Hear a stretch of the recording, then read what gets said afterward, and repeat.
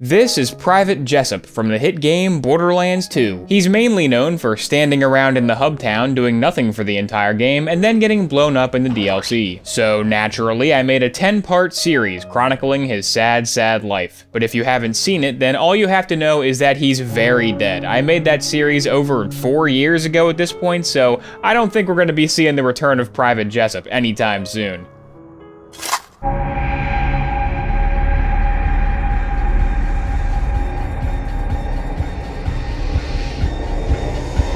Wake up, Private Jessup. Why am I alive? Don't you recognize my voice, old friend? It's me, your old boss, Mr. Tediore. Oh, God, Tediore, what do you want this time? I've brought you back from the dead because I have a job for you. Okay, fine, I'll do it. Whatever it is, I'll do it. But then can I please go back to being dead? Yes, yes, if that's what you want, then sure. Alright, what do you want? I need you to attend the Hollywood premiere of the Borderlands movie. Oh. Do I have to? Yes, I'm afraid so. It is vitally important for you to watch the movie first and then tell me if it is worth buying tickets for. Alright, here we go.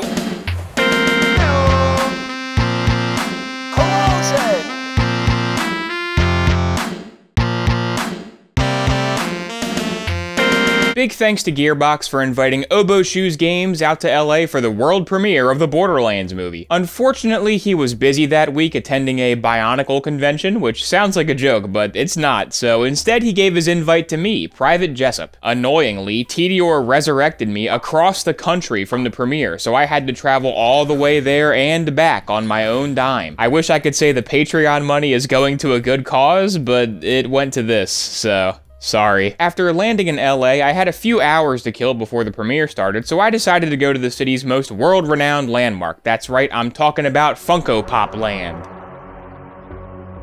I gotta say, it's pretty horrifying. At least they had FNAF. I also said hi to PETA, and then I found Weezer at Amoeba, and you know I had to try In-N-Out, and I gotta say, I was not impressed. Sorry, West Coast, but this burger was Wendy's tier. When I was done eating, I donned my armor and began walking to the theater. Here we are in beautiful Hollywood, California, for the premiere of the Borderlands movie. Mr. Tediore has sent me out here on a mission to go see this film. Uh, been touring Hollywood all day. Pretty impressive, pretty impressive. Reminds me a lot of Sanctuary because of all the trash everywhere. One guy stopped me and asked me if I was a stormtrooper. I told him no, I was from Borderlands, and he said that was dope. Another guy stopped me and asked me if I was Deadpool. I said no, I was from Borderlands, and he didn't know what Borderlands was. Uh, over there we have Poppy Playtime. There he is. Shout out to Poppy Playtime. Video game represent. Yeah, it's the, it's that. Yeah. That's Poppy's Playtime, my favorite game, Private Jessup approved game. When I got to the theater, I had to debase myself by telling the guard I was an influencer. And then he let me into the influencer line. I was told to stand behind a guy who was quite possibly the best dressed man I have ever seen. We struck up a conversation. He asked me if I was from the game. I said yes. He said he'd never played a Borderlands game. I told him they were pretty good. He asked me if they were like Elden Ring. I said no. After a few minutes, we were ushered onto the yellow carpet. It's yellow because Claptrap. On the yellow carpet, there were a few activities that were part of the brand activation. I made the Crimson Raiders proud by dunking the Psycho, but then I made them not so proud by only scoring a slimy snail on the Psycho strength test. Ah.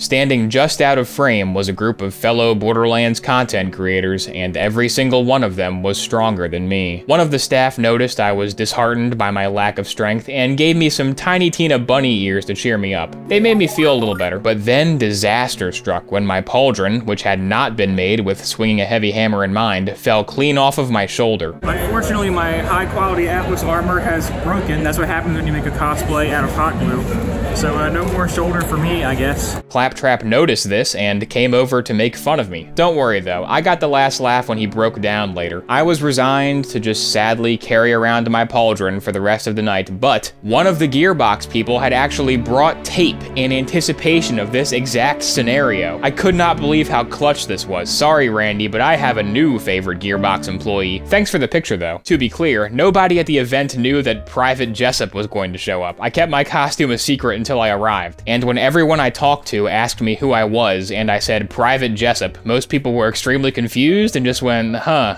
That's cool. Joltzdude and K6 both got it immediately though, so I'm not saying the event was full of fake fans, but also that guy in line had never played Borderlands before. Soon the theater doors opened, and I went inside to get out of the sun for a bit and grab a drink. But when I tried to go back outside to where everything was, I was told by the door guard that there was no re-entry, and that if I went outside, I wouldn't be allowed back in for the movie. I was now trapped inside the theater with three hours to go before the movie started. Determined to make the most of this unfortunate situation, I found an abandoned corner and did this. Hey everybody,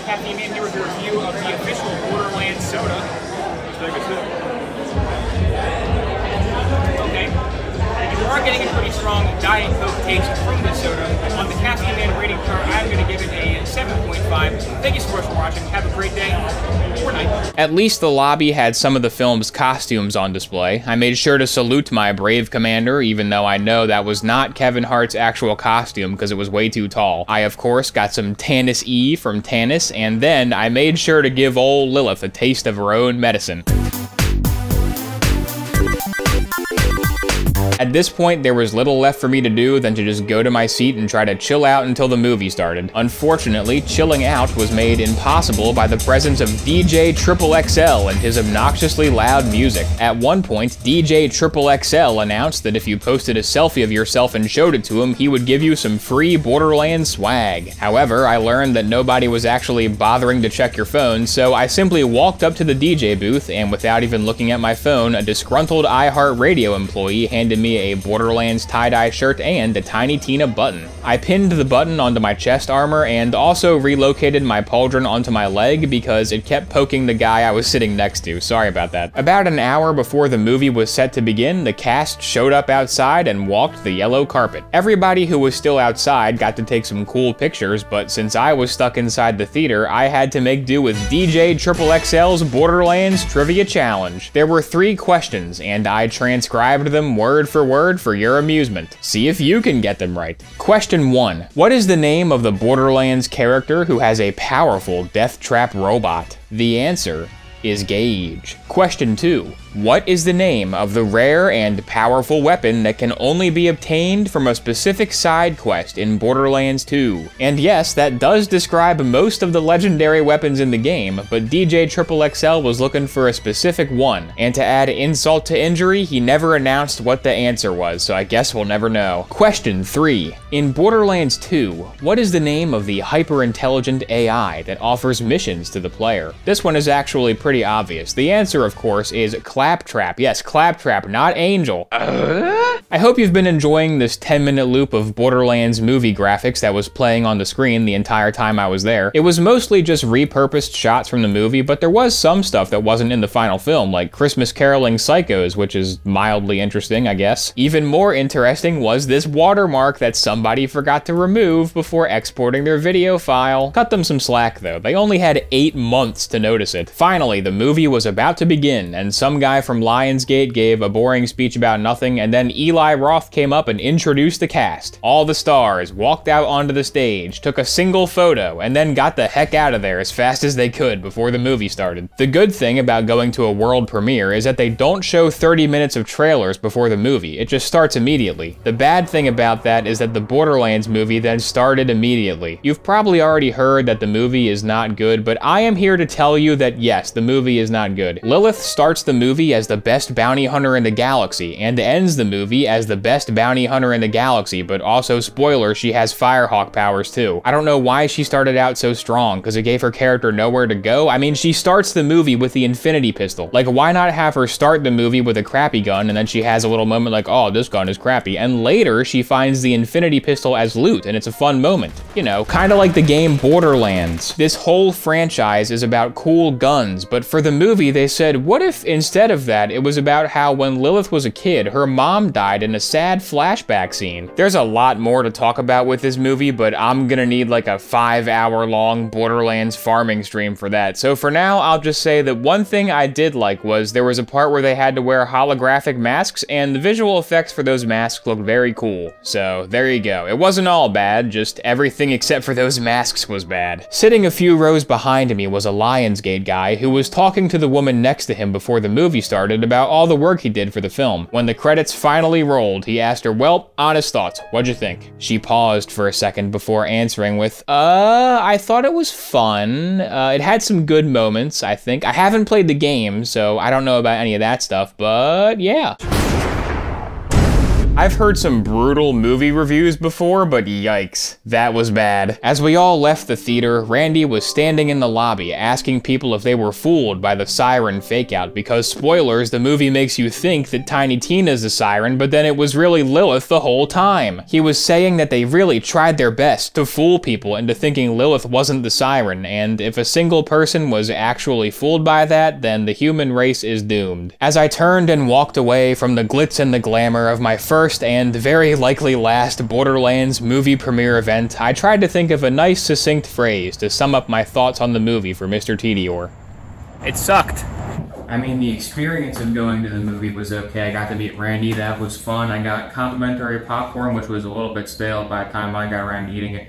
But a lot of stuff in the movie just made no sense. Like, Tiny Tina started out in the movie as being a prisoner and then by the end of the movie she liked bombs a lot and they never really explained like how she got into bombs. So i think the whole tiny tina bomb thing did not work at all and was very stupid. Time to make it rain with your body parts. Oh no! Well jessup how was the movie? That bad huh